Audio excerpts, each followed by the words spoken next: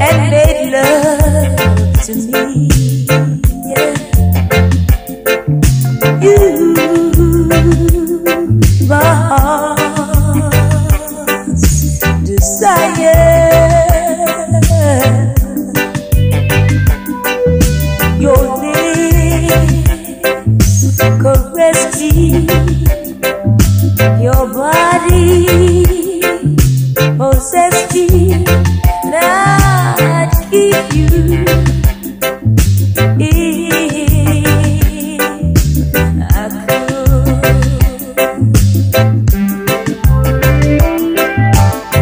time would stand still and we were still.